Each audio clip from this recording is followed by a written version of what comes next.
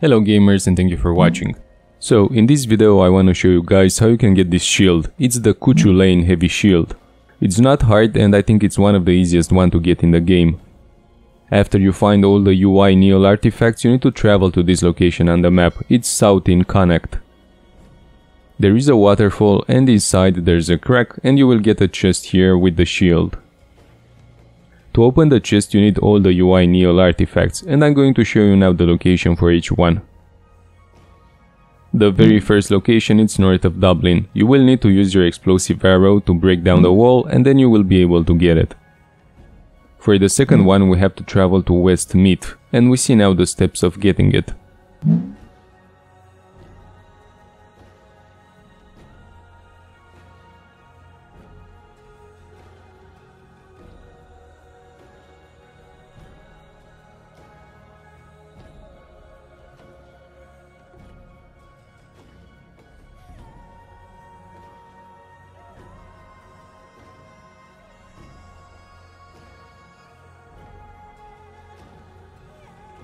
The third one is located in South Connacht and it's the same thing here. There will be a wall which we need to break with the explosive arrow or with the oil jars and we have the artifact inside.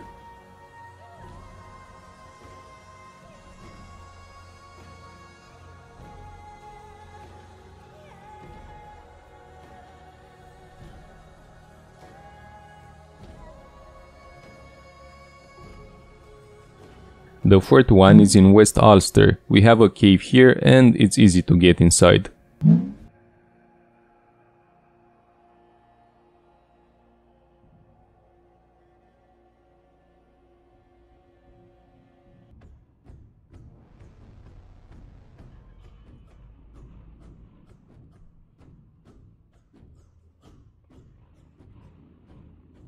The last one is in East Ulster, behind a wall which you can destroy and then easily get the artifact.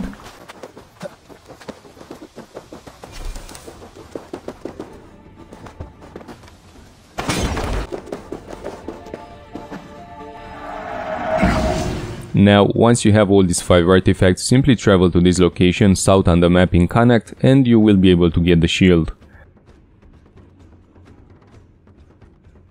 Hope this video worked well for you, thank you very much for watching the entire video, don't hesitate to like the video and subscribe and I wish you all the best, goodbye.